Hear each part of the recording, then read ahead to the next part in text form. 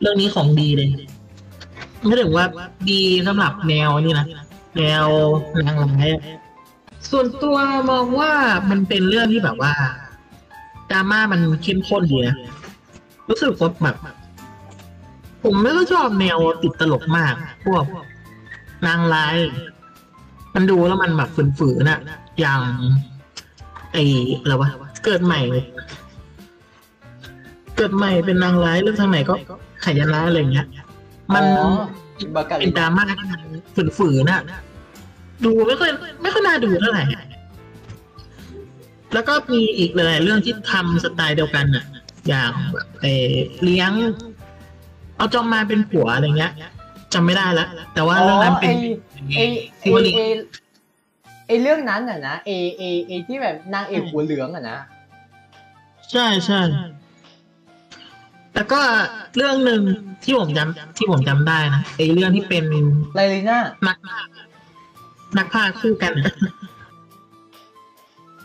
อันนั้นก็สไตล์คล้ายๆกันอะ แต่ว่าอันนั้นมันจะหวานเจี๊ยบไปหน่อยถ้าเป็นเรื่องที่เพิ่งดูไป แต่ถ้าเรื่องเนี้ย มันจะมีความแบบว่าดราม่าค่อนข้างสูงเลยอะแล้วแบบเรื่องนี้เป็นเงี้ยอะไรไม่รู้ว่าบ้างน้ำตาไหลทุกเรื่อง เอ้ยน้ำตาไหลทุกรอบ คุณนั้นตาไหลทุกตอนเลยเหรอครับหรือว่าไงอืมไม่รู้เหมือนกัน แต่ว่ามันก็ อย่างสี่ตอนใช่ไหมก็ น้ำตาไหลไปแล้วประมาณสามตอนได้ นับตอนล่าสุดเลยโอ้น่าสนใจครับอันนี้น่าสนใจเลยถ้าแล้วในแบบส่วนตัวส่วนตัวผมถ้าถ้าเป็นไม่ได้ผมอยากให้เป็นเนื้อเรื่องแบบว่าในแบบในเกมมากกว่าที่ไม่ใช่แบบเนี้ยผม ผมว่าเนื้อเรื่องในเกมน่าน่าจะเต็มตรงมากกว่าเรื่องเป็นอย่างเงี้ยอย่าหาว่าเป็นอีกอย่างเนี้ยดีไหมมันก็โอเคอยู่แหละแต่เพียงแต่ว่าผมติดมากับบาคาริน่าไปหน่อยในเวอร์ชันดั้งเดิมผมในแนวเนี้ย ผมเลยคิดว่าผมไม่ค่อยถูกใจกับเรื่องนี้สักเท่าไหร่ แต่แน่นอนแล้วว่ามันมีความเดือดความดราม่ามันค่อนข้างที่ดีกว่าบาคาริน่าแต่บาคาริน่ามันสร้างมาตรฐานมันไว้อยู่แล้ว แต่เรื่องนี้ค่อนข้างที่จะว่ามันก็ไปเดียวกับบาคาริน่าบางส่วนบางส่วนอืมไปหน่อย ผมเลยใช่ยังไม่ค่อยถูกใจเรื่องนี้ครับผมอืมอืมอะไรก็ตามที่มันเข้าบาคาริน่าเนี่ยสำหรับผมก็ไม่ค่อย work ยังไม่ค่อย work ดีผมก็เลยเสียดายว่าไอ้เรื่องเนี้ยมันควรที่แบบว่า ถ้าจะก๊อปบางทีไม่ควรจะก๊อปมาทั้งหมดเนี่ยอะไรเงี้ยอืมเพราะว่าผมยังดูว่าเองเองเดี๋ยวขอพูดจบก่อน ว่าผมคิดว่ายังไงท้ายสุดแล้วมันมันแอบขโมยไอเดียบางอย่างของบาคาริน่าไปหน่อยนะอืมมันก็เลยอาจจะยังไม่อาจจะยังไม่ดีที่สุดเดี๋ยวมันก็มันมันก็ยังดีนิดหน่อย ยังให้นิดหน่อยอยู่อืมเท่าไหร่ครับผมเบื่อแนว ผมเบื่อแนวเดดแฟลกว่ะอืมคือแบบผมรู้สึกว่าแบบไม่ว่าจะแบบติดตลกหรือแบบดราม่าซีเรียสจริงจังก็เหอะผมรู้สึกว่าแบบผมโคตรเบื่อเลย คือแบบ แล้วแล้วพอมาเป็นเรื่องเนี้ยในซีซั่นเนี้ยผมรู้สึกว่าแบบมึงจะร้องไห้ทำเฮี้ยอะไรกันหนาวะ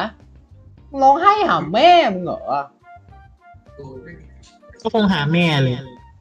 ไม่ถึงว่าไอ้ตัวตัวผู้ชายที่ใส่แว่นร้องไห้หาแม่จริง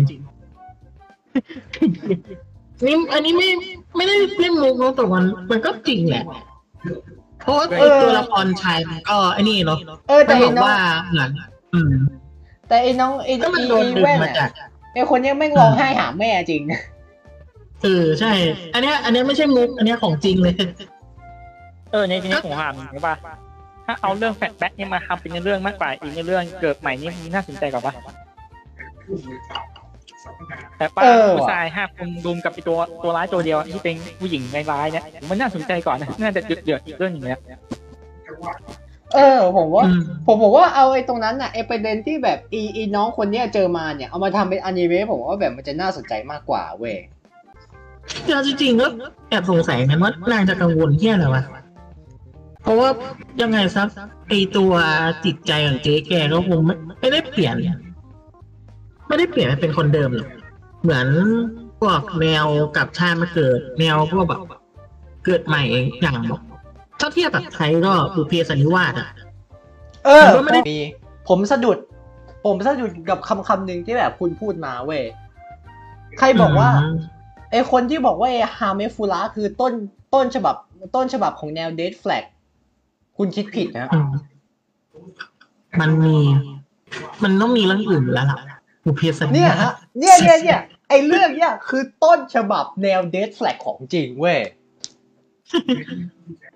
แล้วไอเรื่องเนี้ยต้นฉบับอะปีสองห้าหกหนึ่งนะใช่ป่ะอ่าในทีนี้เดี๋ยวก่อนคุงพิมพ์ไปว่าคำศัพท์พาโลดูอะย้อนกลับไปก่อนคุงพิมพ์คำว่าคำศัพท์พาโลอะมังงะอะลองพิมพ์ไปว่ามังงะคำคำคำศัพท์ฟาโลอะโอ้คำสาปฟาลุน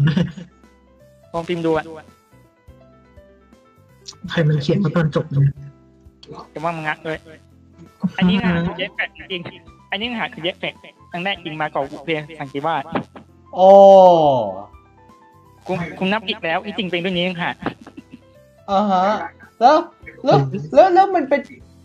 แล้วแล้วไอ้เดทแฟลกที่ว่านี่คือแบบเป็นยาวนานมันเป็นยี่สิบสามสิบปีเลยเหรอะฮะโอ้พันปีซ้ำอีกเรื่องเนี้ยอืม ไอ้เย็ดแค่แล้วคือแบบมันคือเดทแฟลกแม่งต้องมีแบบเป็นร้อยเป็นพันจุดเลยนะ เฮ้ย กว่าจะลากยาวเนื้อเรื่องมาถึงขนาดนี้ได้อะเอาเอาแบบไดโนเสาร์ไปครับผมแบบย้อนเวลาไปไดโนเสาร์ปีอะเดทแฟลกมันจะเยอะอะไรขนาดนั้นวะคุณ